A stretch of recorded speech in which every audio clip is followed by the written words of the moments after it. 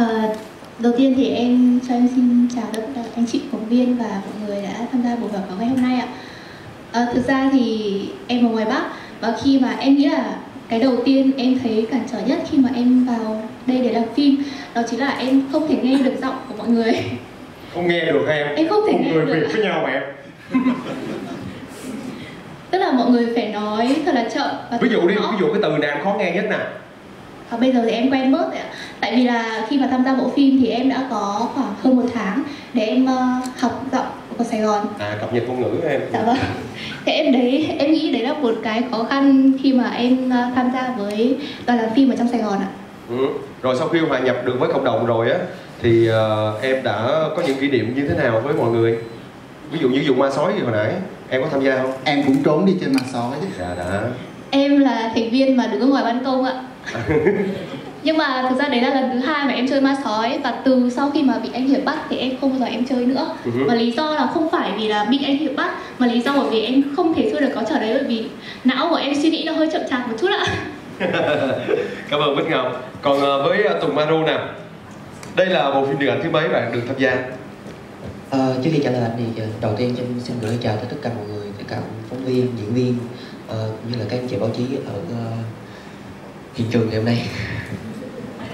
Ờ, Thật nha bao giờ hiện trường nha đóng cửa nha quý vị độ sắp ngoại bất nhập nha rồi ok tiếp đi anh em quên câu hỏi này. À, bộ phim thứ mấy chục mà tham gia rồi à, cưng Ờ, thực ra đây là bộ phim anh nói phim điện ảnh hay sao? dạ điện ảnh truyền hình sitcom vân vân các loại dạ Dạ, đây là bộ phim thứ ba mà em tham gia. thứ ba về điện ảnh Ờ, ờ, thứ ba tính luôn nhưng ờ, các thể loại phim khác nhau dạ vâng ạ. Và với phim lần này thì đây có phải là vai chính đầu tiên của em hay không? Dạ đúng rồi, đây là vai chính đầu tiên của em.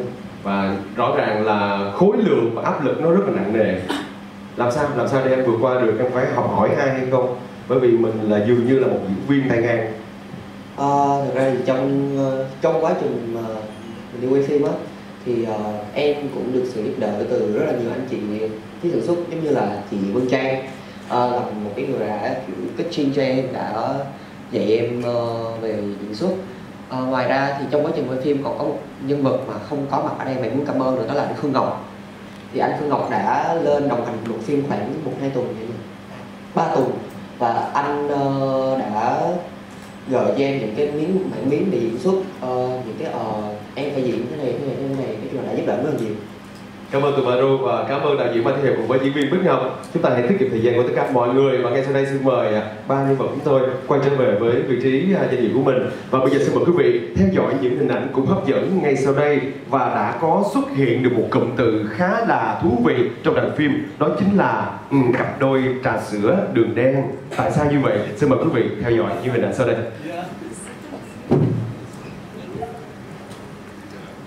Bạn có nghĩ nhau không? Ừ. Ừ, thì trong phim này chưa có. Chưa có tạo điều kiện. Ai ai không tạo điều kiện? À à đạo diễn là bắt chín giờ xa chín tối đi ngủ hết được phải không? À. Đạo diễn là ờ, khoảng tám rưỡi chín giờ những cái gõ cửa từng phòng. Kiểm tra còn còn chưa? Không có ngủ trưa ừ. rồi ờ, nói chung là anh đẹp lo từng những nhân ngủ với mọi người lắm có cơ hội thời gian để làm chuyện khác vậy hả? Không phát sinh tình cảm được không làm gì được hết trơn đâu đâu được tối tối mà không thấy đi lang thang ngoài đường không chửi. Vậy thì sao? Rồi, đi lang thang đi mua trà sữa nói làm gì vậy? Nó cho đến À. là phải đi về ngủ.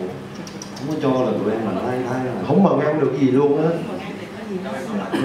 Dạ nó không có mần ăn được. Không mần ăn được gì hết trơn. Vậy thì sao mà tạo scandal là bia cho phim hai em? Giả bộ nắm tay nhau cái nhẹ nhẹ đi. Hả? Nắm tay đi giờ tôi tạo điều kiện nè có không? Trong phim cũng chưa được có nắm tay luôn nắm cái đi cho đỡ tức đây đây hồi nãy cái, cái, cái đoạn hồi nãy là có nắm lúc đưa chìa khóa là có nắm tay rồi. Gián tiếp. Thôi. Bây giờ trực tiếp nè. Hai ba. Nắm đi. Nắm đi. Đạo diễn cho rồi. Ừ. là tay của cặp đôi. Trà sữa xin cho đường đen cảm ơn hai bạn rất nhiều à, anh à, xin phép với Hoàng anh nói chuyện về Mai Ngô một tí xíu. Dạ. À, tại vì à, bản thân Hiệp với Mai Ngô thì cũng đã có cái duyên làm việc với nhau từ 6 7 năm trước. Khi mà Mai Ngô à, tham gia trong cái bộ phim à, Ừ. âm mưu và góc nhọn. À. thì lúc đó thì uh, lúc đó em còn nhỏ mà em cũng tham gia một cái uh, vai cũng nhỏ nhỏ giống như là những người mẫu đi catwalk ở trên sàn sàn diễn thôi.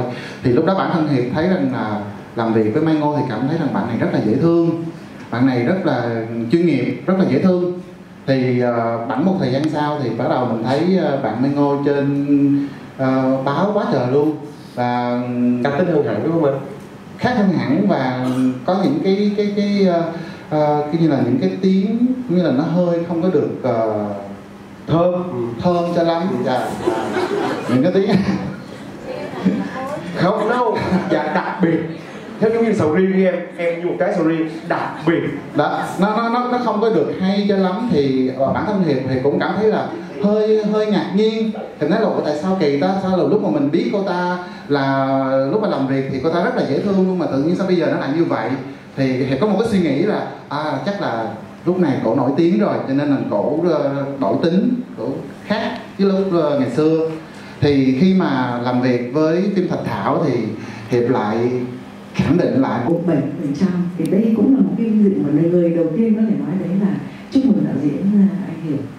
cái người mà có thể là nói là bây giờ mà chọn được một cái đạo diễn mà kể cả trong nước và quốc tế đấy à mà Việt kiều đấy, thì là nếu mà được lãnh 70 phần trăm cái cái tiền của nhà nước đấy là mình nghĩ là nó một cái gánh nặng cho bạn rất là nhiều, gánh nặng cực kỳ nhiều cái áp lực như thế. Nhưng mà bạn cuối cùng bạn đã được may mắn là một cái đạo diễn như thế à, thì đầu tiên tôi cũng uh, xin chúc mừng và à, cũng muốn chia sẻ là khi mà xem một cái ekip như thế tôi thấy là một đa số 2 phần ba là mưa và cái dù áo mưa của các bạn đọng lại trong cái ekip này.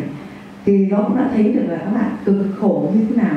Bởi vì nếu như mà thời tiết nó mưa như thế thì nó ảnh hưởng rất là nhiều đến đoàn phim kể cả những cái cảm xúc của các bạn diễn viên đang diễn nữa cơ. Thế còn đang quay một viên thì lúc nó cắt và các bạn mà quay phim, cái phim hiệu là nó rất là nhiều thứ liên quan. Thế thì thì xin hỏi đạo diễn là đây là một cái đề tài về lưu bút cho là cái đề tài lưu bút và học trò. Mà trước đấy thì cũng đã rất nhiều, rất là nhiều phim cũng là làm, đã làm về về đề tài này này. Thì thì đạo diễn có thể có những cái chia sẻ có cái cái gì bật lên được cái bứt phá về nội dung. Thì bao nhiêu lâu thì bạn có thể là thì thầm với lại thạch và các bạn đồng nghiệp mà học trò bạn có thể quậy phá và làm những cái ma sóng như thế. Xin cảm ơn. Em cảm ơn chị Hồng Liên rất là nhiều à, đi first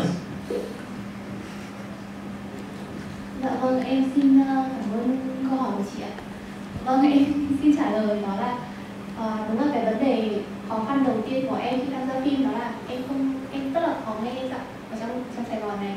Và vai của em thì đầu tiên được mặc định là một vai của một cô bé nói tiếng Sài Gòn. Nên là khi mà nhận vai thì em đã phải ờ, học tiếng Sài Gòn. Và thực ra thì cũng em cũng không nghĩ là em mất bao lâu để mà học được tiếng Sài Gòn nhưng mà thực ra là từ ngày đầu tiên là em đã bắt đầu có ý thức là mình phải uh, tập nói tiếng Sài Gòn. Và khi mà nói chuyện các bạn thì em cũng nói bằng tiếng Sài Gòn để cho nó quen ạ. bây giờ em trả lời bằng tiếng Nam đi em. Đó em quá là diễn ơi. Rồi tài từ của em đâu nào dạ Dạ. Thực ra thì cũng lâu rồi em không nói tiếng Sài Gòn. à, em cũng thấy thương các bạn tại vì suốt trong một tháng quay trong một tháng quay là các bạn phải nghe cái tiếng của em và khi mọi người xem uh, phần trailer thì mọi người sẽ thấy là em lại nói tiếng Bắc đấy cũng là một cái khó khăn của em trong phim tức là khi mà em tham gia bộ phim thì em đã bắt đầu học tiếng Nam. Và khi mà tiếng Nam và tiếng Bắc thì nó có những cái đuôi phát âm khác nhau. Trong khi trên hiện trường thì em em nói toàn tiếng Nam sau khi em về lồng tiếng lại thì em cảm thấy là mình uh, mình ước gì mà mình đã có thể nói ngắn hơn nói rõ ràng hơn để khi mà lồng tiếng em đỡ phải mất nhiều thời gian và có những khó khăn trong quá trình lồng tiếng á. Mà nói chung là mất khoảng thời gian hơn một tháng thì sao em? Mới hòa nhập với cộng đồng em đã hòa nhập được rồi ạ nhưng mà bây giờ thì cũng lâu rồi em cũng chưa nói tiếng Sài Gòn nên là mọi người nghe sẽ thực ra ngày trước thì em nó sẽ hay hơn bây giờ nhiều đấy ạ. Ờ, ai dụ giỏi chơi ma sói? Ai ai dụ chỉ? Đùa cho đây cho có tuần và cảm ơn uh, lời chia sẻ của Bích Ngọc. Còn anh Hiệp ơi uh, vừa rồi dạ Tùng dạ rồi Tùng Ờ, thực ra thì cảm xúc của em là khi mà đi quay phim thì trước khi mà lên con tâm thì em vẫn khá là lo lắng. Có nghĩa là em vẫn nghĩ là lên trển mình sẽ cưỡi voi vô phim thôi. À.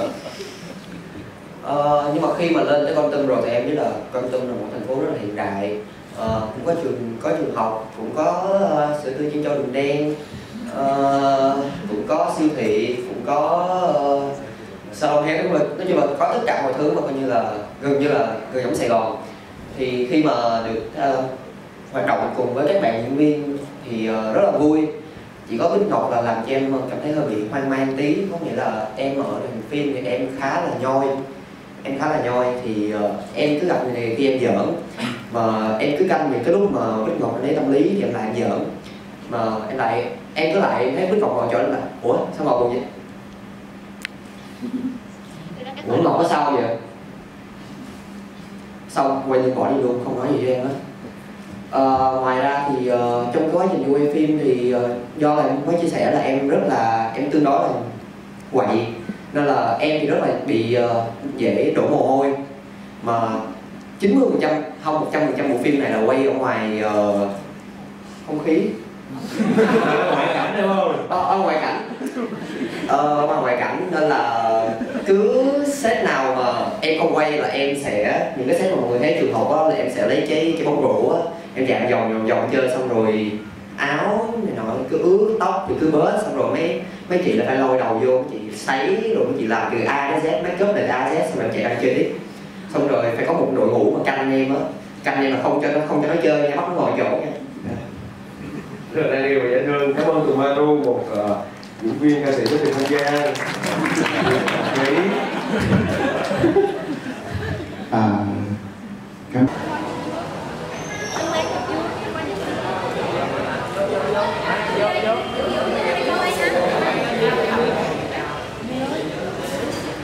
Thay thay thay. Thay vô. Thay vô.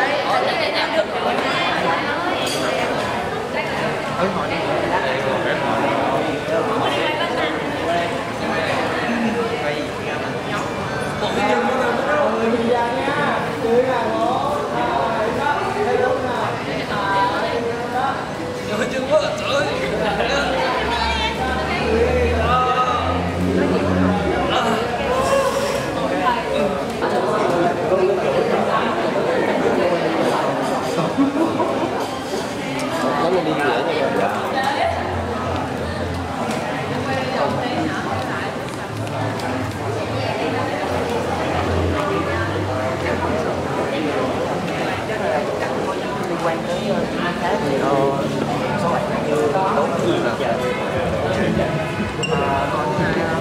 thấy là nhân vật trong phim mình có điểm là tương đồng với lại cùng ở ngoài đời không? thạch tương đồng hơn thạch, thạch tương đồng với em tới 70 phần trăm rồi có nghĩa là em một là một bạn rất là lạc quan rất là quậy rất là nhoi rất là vui ờ, chỉ có cái là cái suy nghĩ của thạch nó ngây thơ nó sẽ nhiều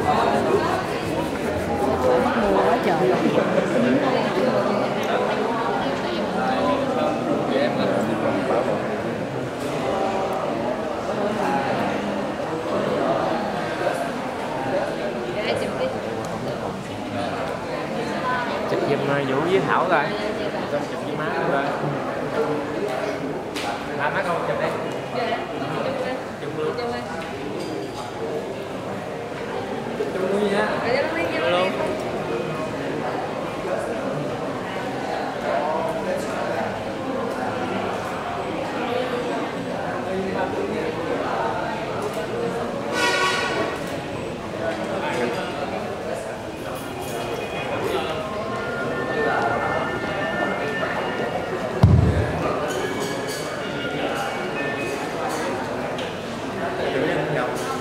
không không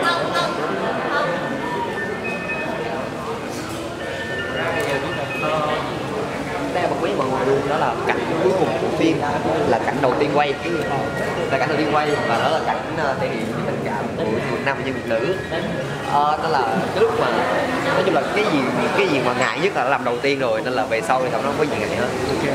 À, vậy thì sau Thạch Thảo thì uh, Tùng có cái dự định gì cho tương lai không?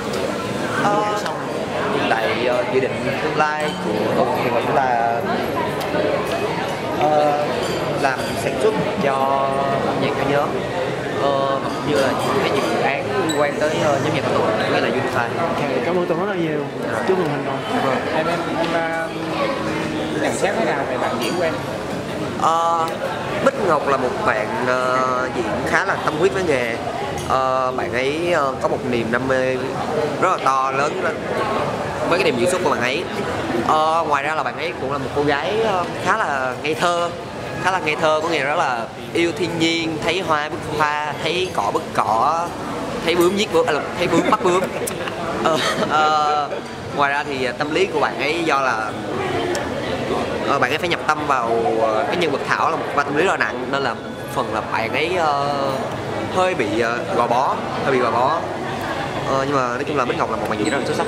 Ủa Bích Ngọc là người nhỏ tuổi em hay lớn em Ờ, Bích Ngọc là một người lớn lớn tuổi hơn em 2 tuổi. Nhưng mà do là trong quá trình mà coaching trong quá trình mà luyện tập thì anh đạo diễn đã bắt là phải gọi Bích Ngọc bằng bạn.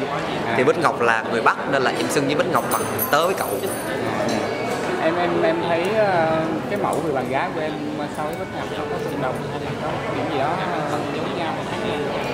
Ờ, Bích Ngọc à chắc cũng ờ, bảy tám mươi trăm. nó 10 phần trăm đó hả? Dạ. Dạ rồi cảm ơn. Rồi rồi rồi. Đầu tiên cái mẫu người bạn gái của em làm cái gì mà đầu tiên? Ờ, thầy cũng tính tiên. Mẫu người bạn gái của em hả? Ờ, mẫu người bạn gái của em chắc là khó ta. Mẫu người bạn gái của em Ờ, em không có hình mẫu lý tưởng cứ con gái là em thích à không phải có ví dụ như là dễ thương hay là tinh nhật hay là cái Ờ. gì chắc là em sẽ là- anh sẽ thích một bạn gái ờ, hòa đồng cởi mở ờ, dễ thương đáng yêu hơi tinh nghịch cũng được dạ. Rồi, rồi.